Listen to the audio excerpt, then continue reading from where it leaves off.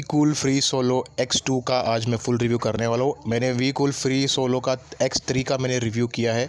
मेरे second channel पर है। जिसका मैंने फुल रिव्यू किया हुआ है, वो भी काफ़ी इम्प्रेसिव है। ये भी काफ़ी इम्प्रेसिव है। एक्चुअली मैं आपको बता दूँ कि जितने भी जो टच कंट्रोल्स जो भी एयरबड्स होते हैं ना, उसकी प्राइस ज़्यादा ही होती है। इस, अगर आप एक टच कंट्रोल अगर आप लेना चाहो टच कंट्रोल का फ़ायदा यह है कि आपको बटन प्रेस का आपको इतना प्रॉब्लम नहीं आएगा बट आपको एक चीज़ ध्यान में रखना है, अगर आपका हाथ गीला होता है, उस वक्त आपको प्रॉब्लम देगा ये। तो वो चीज़ का आपको ज़रा ध्यान रखना पड़ेगा। इसके लिए आपको, आज मैं ये ये ये लाया हूँ एयरबड्स मुझे बहुत सारे कमेंट ऐसे रिसीव हो रहे थे कि आप ऐसे कोई एयरबड बताओ जो बैटरी भी ज़्यादा दे प्राइस भी थोड़ा सा हो ठीक ठाक तो और टच कंट्रोल वाला हो।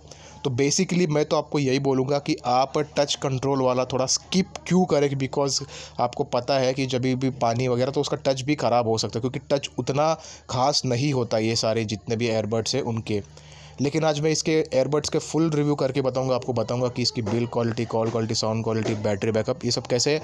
और अंत में मैं आपको बताऊँगा कि क्या आपको ये जो एयरबड्स है, क्या आपको ये लेना चाहिए? अंत में मेरा ओपिनियन भी मैं आपको शेयर करूँगा कि अगर मैं होता तो क्या मैं इसे लेता? क्योंकि मैं यहाँ पर सिर्फ़ और सिर्फ़ जितने भी जो वैल्यू फॉर मनी आपको कम पैसा डालना पड़े और ज़्यादा आपको वैल्यू आपको मिले। तो मेरा वही मेरा कोशिश होता है क्योंकि मैंने बहुत सारे एयरबड्स मैंने बहुत सारे मैंने एयरबड्स मैंने अपने इसमें मैंने देख लिया हूँ और मैंने वीडियो बना के रखा है। तो उसमें से आपको बहुत सारे आपको एयरबड्स मिलेंगे। मेरे पाँच सौ रुपये के एयरबड्स पे भी आपको दो दिन, दो से तीन दिन का आपको बैटरी बैकअप आपको मिल जाता है और छः सौ, सात सौ के अंदर भी आपको मतलब एक एयरबड तो मैंने ऐसा रिव्यू किया जिसका तो पाँच दिन का आपको हैवी यूजेज पर आपको बैटरी मिल जाएगा। तो ये काफ़ी एक बढ़िया मुझे ऑप्शन लगा है।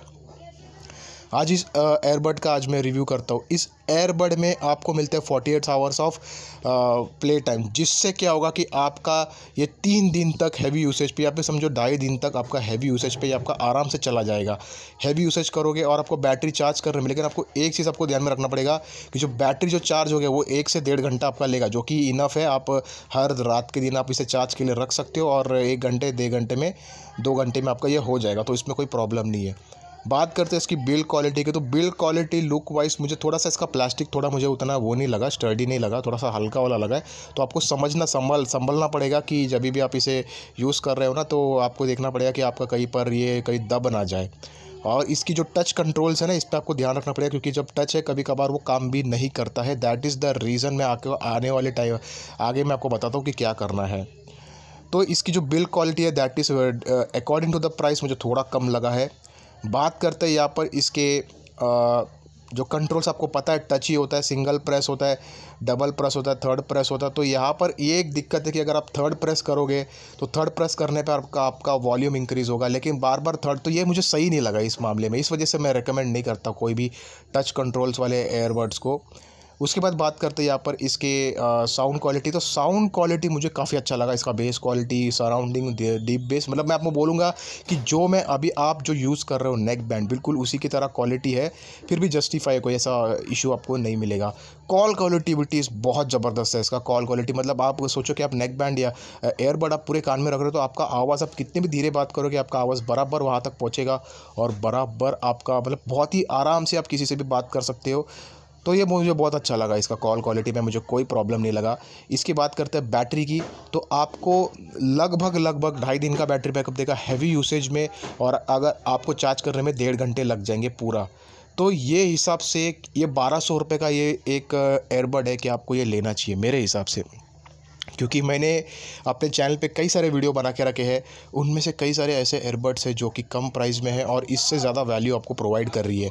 तो मैं चाहूँगा कि आप और देखिए मेरे चैनल पर आपको बहुत सारे आपको एयरबड्स आपको मिलेंगे। आप एयरबड्स अगर आप लेना चाहते हो तो ये आपका काफ़ी सही पिक है, क्योंकि एयरबड ही एक ऐसा, इस वक्त मेरे को एक ऐसा, मुझे एयरफोन मुझे लग रहा है, जो एक्चुअली में नेक बैंड से और बाकी जितने भी जो एयरफोन्स हैं ना, उससे काफ़ी बढ़िया है। तो अगर आप एक एयरबड लेना चाहते हो तो ये एयरबड अगर आप ले तो कोई नुकसान भी नहीं, लेकिन अगर आप मैं होता तो बारह सौ रुपये के प्राइस में मैं कुछ और ट्राई करता, जिससे मेरे को काफ़ी ज़्यादा वैल्यू और भी मिले। वैसे ये value for full value for money है, मैं बिल्कुल भी इनकार नहीं कर रहा हूँ, लेकिन दो तीन प्रोडक्ट मैंने ऐसे देखे हैं, जो इससे भी ज़्यादा आपको स्पेसिफिकेशन आपको दे रहे हैं।